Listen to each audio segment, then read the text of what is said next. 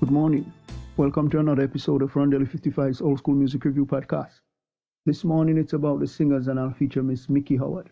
She was born Alicia Michelle Howard on September 30, 1960. She is a singer and actress and is the daughter of Josephine Howard of the Caravans and Mr. Clay Graham of the Pilgrim Jubilee. So come from a line of singers.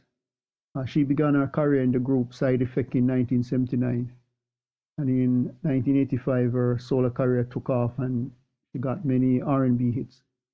She also appeared in, in the movies Malcolm X as Billie Holiday and Poetic Justice.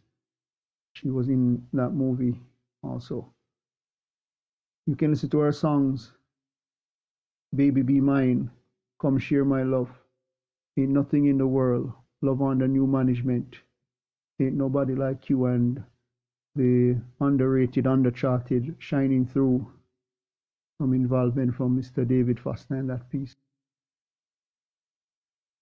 She worked for the labels Atlantic Giant, Warlock, Hush Peak, Tanashi.